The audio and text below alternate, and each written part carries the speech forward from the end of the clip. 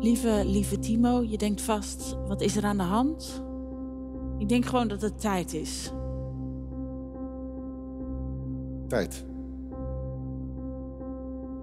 Opeens zitten we weer bij elkaar en wanneer gebeurt dat nou nog? Voor het geld dat we uitsparen met die auto boeken we een korte vakantie. Een hele warme vakantie. Nou, zeg maar gerust een hele hete vakantie.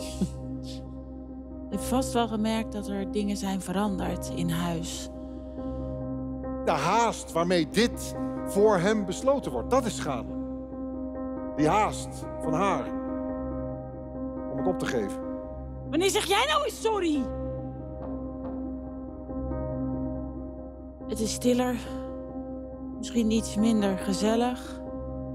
En helaas, er gaat nog veel meer veranderen. Ik ben gewoon moe!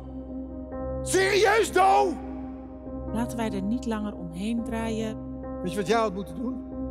Weet je wat je trouwens nog steeds zou moeten doen? Hm? Uitwaaien. Ik wil wel uitwaaien, maar dat kan niet, want ik ben met jou getrouwd. We hebben samen besloten om uit elkaar te gaan. Ja, nog zoiets. Wat? Samen